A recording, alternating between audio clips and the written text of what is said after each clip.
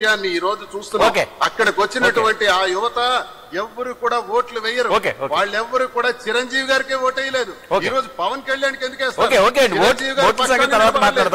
పవన్ కళ్యాణ్ ఎందుకు? శ్రీనివాస్ గారు, శ్రీనివాస్ మీరు- పాయింట్. రైజ్ చేశారు. తర్వాత చంద్ర మీరు మీరు ఒక పాయింట్ రైజ్ చేశారు ఒక్క నిమిషం దానికి వెంకటేశ్వరరావు గారు సమాధానం చెప్పాలి వెంకటేశ్వరరావు గారు ఆయనకి అర్హత లేదు ఉత్తరాంధ్రలో పర్యటించే అర్హత వైజాగ్లో ఏదన్నా జరగచ్చు దువ్వారి శ్రీనివాస్ గారు ఇండైరెక్ట్గా హెచ్చరిస్తున్నారు ఇప్పుడు ఇందాక మీరు చెప్పారు పవన్ ఆయన ఎవరు? ఆ పా- పాన్ పరాగాడు ఆయన ఎవరైనా తిరిగితే ఎప్పుడు స్పందించలేదు. ఇప్పుడు స్పందించారని అట్లా ఉంటుంది. అట్లా ఉంటుంది. రెడీ మేము అన్నిటి చెప్పడం చెప్తే మాట్లాడే ఆ ఇప్పుడు సార్ మీ వాయిస్ డిస్టర్బెన్స్ వస్తున్నది. ఒక ఒక మీ వాయిస్ డిస్టర్బెన్స్ వస్తున్నది. ఆ ఇయర్ ఫోన్స్ తీసేయండి ప్లీజ్ మాట్లాడండి. ఒక్క నిమిషం లైన్లో ఉండండి. మా నాయకుడు చెప్పాడు. ఓకేనా వినిపిస్తున్నారండి ఆ, మాట్లాడండి. ఇప్పుడు మా నాయకుడు ఆల్రెడీ చెప్పాడు. నేను ప్రజల కోసం మంచి చేయడం కోసం అన్నింటినీ సిద్ధపడే వచ్చానని.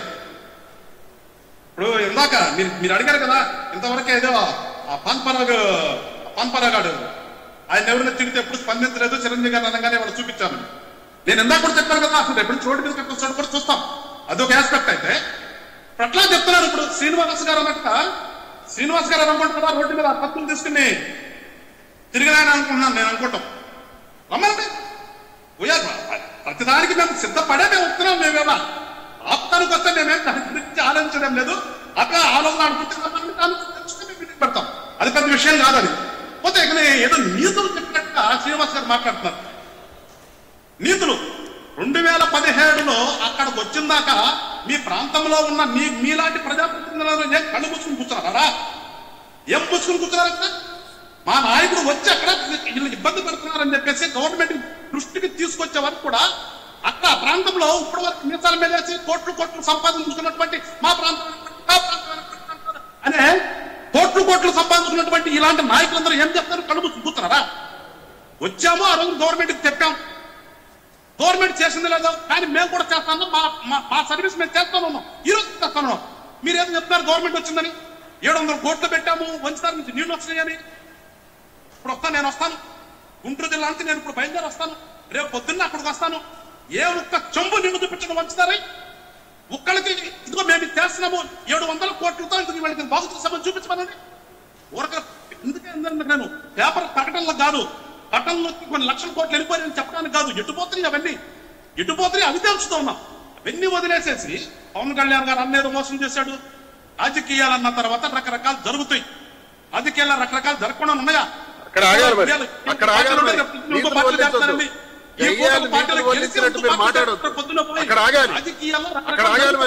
ఆ రోజు పార్టీ పెట్టిన తర్వాత ఆయన ఉన్నటువంటి పరిస్థితులకు అనుగుణంగా నడపలేకపోయి వెళ్ళాడు. ఎవరిని మోసం చేయలేదు.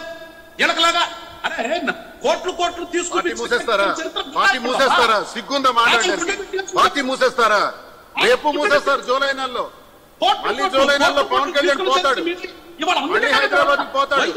రోడ్డుని పైన ఏడుస్తారు, మీకు నాలుగు సంవత్సరాలను ఏ రకంగా దోచుకున్నారు? ఏ రకంగా నాశనం చేస్తారో ఓకే శ్రీనివాస్ గారు శ్రీనివాస్ గారు శ్రీనివాస్ గారు విశాఖలో విశాఖలో అధికార పార్టీ చేసిన దురాఘాతాలన్నింటినీ కూడా ఆయన రేపు బయట పెడతారు దమ్ముంటే ఆపండి అంటున్నారు.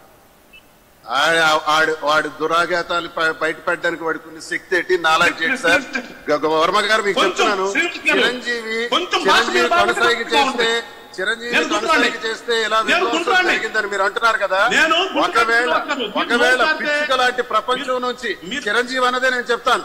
పిచ్చుక లాంటి ప్రపంచం నుంచి చిరంజీవి. కొనసాగి చేస్తే ఏదో. జరిగితే విశాలమైనటువంటి ప్రపంచం మా జగనన్న కొనసాగి చేస్తే పవన్ కళ్యాణ్ వైజాగ్లో అడుగు పెడతాడా? అది కాదు. జగనన్న శాంతమూర్తి మా అందరికి నీతి నిజాయితీ ధర్మం న్యాయం శాంతి వచనాలు చెప్పి మమ్మల్ని అందరినీ శాంతియుతంగా ఉండమన్నారు కాబట్టి మీ రౌడీజం తెలుతుంది వైజాగ్లో ఎంటర్ అయ్యి వైజాగ్లో మీరు రెచ్చగొడితే చూస్తూ ఊరుకుంటాం అనుకుంటున్నారా? రండి. ఉత్తరాంధ్ర రండి. ఇదేం ఈస్ట్ వెస్ట్ కాదు. ఉత్తరాంధ్ర ఇది. ఉద్యమాల పిరిటిగడ్డ. రండి దమ్ముంటే చూద్దాం. ఉత్తరాంధ్ర వచ్చిన తర్వాత మా తడకంట రేపు చూపిస్తాం ఇష్టానుసారం మాట్లాడితే కార్యకర్తల్ని కొంతమంది పిచ్చోళ్ళని కొంతమంది సైకోగాళ్ళని రెచ్చగొట్టి ఇష్టానుసారంగా నాయకుల మీద విడిచిపెడితే చూస్తూ ఊరుకుంటాం అనుకుంటున్నారా మాకు అలాంటి సైకిల్ చేయలేదు మా నాయకుడు మా నాయకుడు శాంతియుతంగా ఉండమన్నారు శాంతియుతంగానే పనిచేసుకోమన్నారు నియోజకవర్గాల్లో. గడపకి ఇంటికెళ్ళి పనిచేసుకోమన్నారు మీకు. రెస్పాండ్ అవ్వాల్సిన అవసరం లేదని చెప్పారు మీరందరూ ఇంత అదే గోల పెడుతున్నా ఆయన వరదల్లో. హాయిగా తిరుక్కుంటూ పనిచేసుకుంటున్నారు ముఖ్యమంత్రి గారు. సిగ్గు లజ్జ ఉంటే ఆయన దగ్గర చూసి నేర్చుకోండి. రథం ఎక్కి మాట్లాడితే పవన్ కళ్యాణ్ కూడా. వదిలేదు లేదు. హెచ్చరిక చేస్తున్నాం. ఆ పకోడీ గాళ్ళని వదిలేదు లేదు. రమ్మానండి ఉత్తరాంధ్ర. మా తడక పెడతాం. రైట్ రైట్ వెంకటేశ్వర గారు. వస్తున్నాం కదా. రేపు వస్తున్నాం కదా సినిమా ప్రాబ్లం ఉంది? రేపు. వస్తున్నాము. రా దమ్ముంటే రా. నువ్వేటి వచ్చేది? జూన్ జూలై నెలకల్లా. వాడు పోతాడు మళ్ళీ షూటింగ్లకి. మళ్ళీ okay. కట్ సీన్ రెడీకి నువ్వు పోతాడు. ఆల్రెడీ పాత అనుభవం. ఆడి నమ్ముకొని వరుసగా కుక్క తోకపట్టి గోదావరి తోకపట్టి గోదావరి. పవన్ కళ్యాణ్ నమ్మితే. రోడ్ల మీద దొరలేడుస్తారు ఎక్కువగా మాట్లాడే ఎక్కువగా మాట్లాడు కుటుంబంతో. అనుభవం ఉంది నాకు? ఈ రోజు వచ్చావు. ఉత్తరాంధ్ర